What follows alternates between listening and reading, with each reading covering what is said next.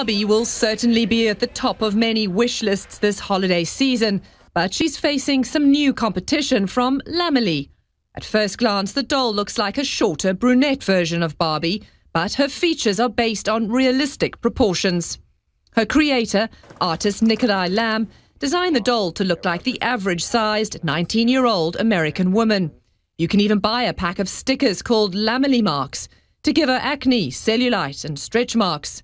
But some critics say the stickers are a bit over the top. But Lamm says he created them to start a conversation. I feel that by making things like this kind of more mainstream, so that like if you do, if someone does have like acne one day, or if they have cellulite or stretch marks, it's like, you know, not a big deal. You know, it's just who we are. Lammily initially started off as an art project that morphed into a crowdfunding campaign. The idea for the doll got so much support, Lamm was able to raise half a million dollars in 30 days. But the toy maker says the biggest test was seeing how kids would feel about Lammily.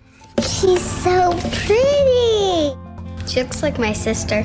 She looks mo- more like a person. While the reaction from children and online has been largely positive, some critics question the doll maker's message with the slogan, Average is beautiful, and wonder if the toy will have the long term appeal of Barbie. For its part, Barbie maker Mattel told Fast Company recently that its doll was never designed to be realistic, focusing rather on making it easy for girls to dress and undress her. So far, Lamm's crowdfunding campaign has allowed him to manufacture some 22,000 dolls, many of which will ship out this week. But Lamm says his goal isn't to put Barbie or Mattel out of business. I'm just trying to create an alternative.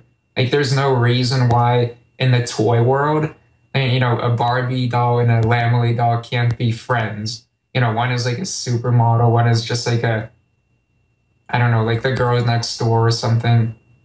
And I feel they can coexist peacefully. They don't have to be at war with one another. If Lammily is a success, Lamm says he plans to expand the line to include male dolls, as well as dolls from different ethnicities. Robyn Curnow, CNN, Atlanta.